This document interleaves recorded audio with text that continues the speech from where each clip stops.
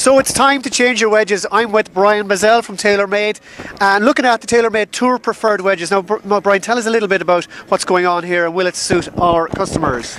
Well, the Tour Preferred wedges are classic in terms of the shaping, and, and you don't take that lightly. When it comes to a wedge, it's the simplest product to look at, yeah. but it's extremely difficult to do it right and make it make it really world class. So in terms of the polishing, the shaping, we we spend months and months and months trying to get that right. And I think when you set down the Tour wedge, you're going to look at it and say, hey, this is as good, if not the best shaped product in the market today.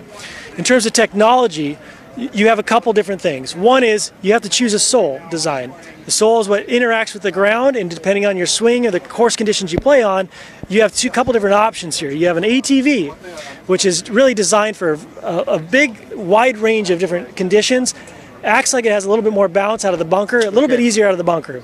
Then you have the standard sole with a heel relief. This is a very common uh, grind that you see on tour. A lot of the guys get it on the wheel and, and polish it off there, so when they're hitting those high shots, those flop shots, it sits really low to the ground. Okay. Hey, last thing I want to mention is the face.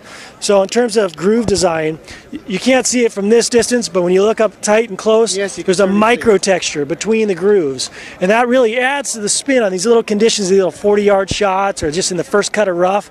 Um, just adding a few hundred RPMs of spin can make the difference between getting up and down and, and, uh, and, and you know, unfortunately making a bogey if you if you're too far away and can't make the putt. Okay, so the message is choose your wedges carefully, but always choose TaylorMade, right? Oh, I like that message. Okay, but always choose golfbidder.com. Brian Bazzell, as always, thanks for talking to us.